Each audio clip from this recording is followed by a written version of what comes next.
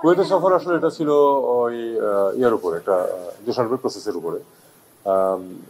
Tajik president এবং এই, যেটা কুয়েতের ক্রাউন প্রিন্স এই দুই দেশ মিলে এটা করছে। দূষণবেদে ছিল এতদিন, প্রথমবার দূষণবের বাইরে এখানে আসলো। এটা হলো commitment towards anti terrorism activities এগুলি। আমাদের অবস্থান তো খুব পরিষ্কার।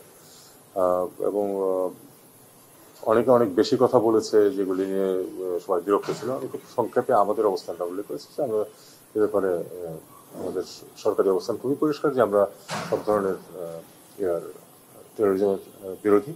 তবে একটা কথা যেটা অনেকেই বলে নাই, এক দুজন বলেছে, আমি সেটা উল্লেখ করেছি, সেটা হলো যে সন্ত্রাসবাদের যে রুট কজ সেগুলিকে যদি আমরা দূর না করি, তাহলে শুধু আমাদের এই অ্যাক্টিভিটিগুলিতে কাজ হবে না। কারণ দেখা গেছে যে সন্ত্রাস বিরোধী কার্যক্রম আপনাদের হিসাব অনুযায়ী বাড়ছে।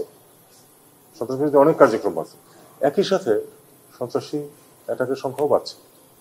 তার মানে আমাদের আমরা এই পর্যন্ত যা করছি এটা পুরোপুরি কাজে লাগছে না। অবশ্যই এগুলিকে করতে হবে বিশেষ করে সাইবার অ্যান্ড আদার ক্রাইমসের ক্ষেত্রে।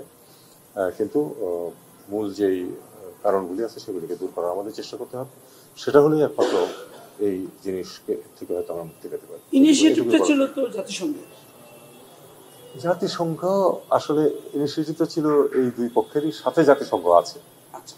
না আমরা কিন্তু। আমরা সৌদি আরবের এরকম একটা হুটহাট ডিসিশন দেখলাম তারা একটা কাউন্টার টেরোরিজম সেন্টার করল কিন্তু এটা হলো সৌদি স্টাইল আর কি। করল মনে হইল কিন্তু পরে আবার নাই। এটাও কি এরকম এটা নিয়ে আমি আসলে কিছু বলতে জানি না। এটা কিন্তু অনেক দিন হয়ে গেছে। বেশ কয়েকটা মিটিং হয়েছে ইয়াতেই দূষণবেতেই এই প্রথম বাইরে হলো। তবে যেটা আমি মনে করি যে এসব যে কোনো ইনিশিয়েটিভ এই ধরনের।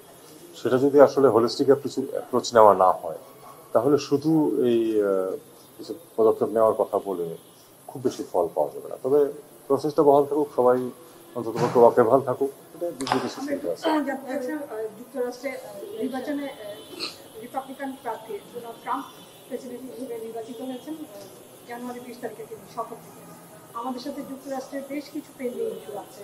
র্যাবের উপর থেকে নিষেধাজ্ঞা প্রত্যাহার বোয়িং কেনা সিএসপি প্লাস সুবিধা বাইডেন প্রশাসনের ক্ষেত্রে সেটি সুবিধা হবে বাংলাদেশ বা ঢাকা কি মনে করে আমি এক-।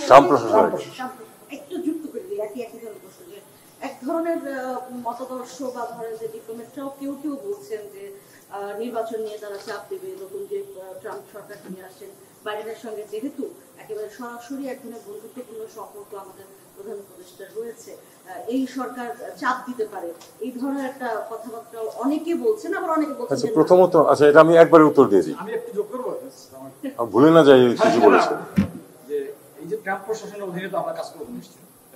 প্রশাসনের অধীনে আমরা কাজ করব। আমরা তো আমাদের তাদের সাথে আমেরিকানদের সাথে আমরা সম্পর্ক বজায় রাখব। এই নতুন প্রশাসনের ক্ষেত্রে কাজ করার ক্ষেত্রে ঢাকা ওয়াশিংটন সম্পর্কের ক্ষেত্রে আহ, চ্যালেঞ্জ এ- দেখেন কিনা? হ্যাঁ এবার আমি এটার উত্তর দিয়ে দিই এরপর আর কোনো প্রশ্ন না উত্তরটা হচ্ছে এরকম। আসলে আমাদের স্পেকুলেট করার প্রয়োজন নেই। আমরা আগামী দুই তিন মাস দেখি দুই মাস সময় তো আছে। তারপরে তারা উনি দায়িত্ব নেবেন। নিয়ে উনি কি কি পদক্ষেপ নেন, সে অনুযায়ী আমাদেরকে, উনি তো বলেন না যে উনি বাংলাদেশের সাথে সম্পর্ক ভালো করবেন অথবা খারাপ করবেন। কিছুই বলেননি।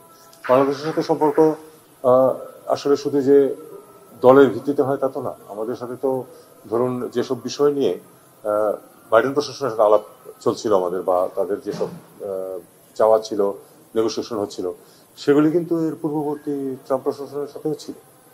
কাজেই এটা বলা ঠিক হবে না যে ট্রাম্প প্রশাসন এবং বাইডেন প্রশাসনের মাঝে বাংলাদেশের সাথে সম্পর্কের ক্ষেত্রে বড় কোনো পরিবর্তন হবে এটা আমি আমি মোটেই মনে করি না আমরা দেখি এবং আমরা যোগাযোগ প্রতিষ্ঠা করব, তারপর দেখা যাবে।